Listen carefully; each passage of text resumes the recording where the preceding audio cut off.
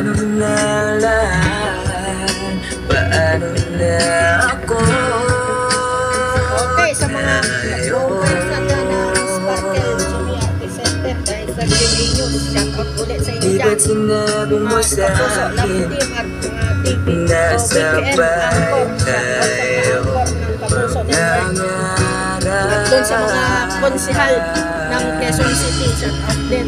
Bakit bigla akong lumisan Yan, shout out sa mga Quezon City Councilor, mga, sa mga kagawad po ng barangay Damayang Lagi, shout out sa mga tanod, sa Damayang Lagi na kinukonsinte. Mga kapitbahay ko noon na video ng hanggang alas 10 na shout out. Mga nakatira sa Swimming Pool Street, Barangay Maligaya, shout out. Parang sa Bandang Lapis, shout out din.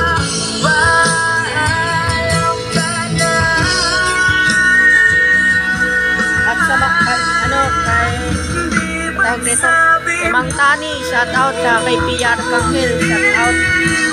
Sa mga pasko ng Labat First Street at ng abot kamay na pangarap, shout out. Wait. Sa mga kas po ng Batang Quiapo at ng underage, shout out. Sa mga angkor ng 24 oras weekend, shout out din. At sa ayun lang po at shout out sa mga cast sa mga cast ng All Out Sundays po. Sa mga So ayan mga kapuso, sa mga nakakilala sa akin, oh, subscribe nyo na lang po ako. At i-follow nyo po itong account ko sa TikTok. So pasensya na po mga kapuso. Kasi po dalawa lang po ang karaoke player ko. Hindi, hindi ko po matitesting yung 9,9900 Song Tyrants. Rito sa Pensonic 25KB 4507 shout out.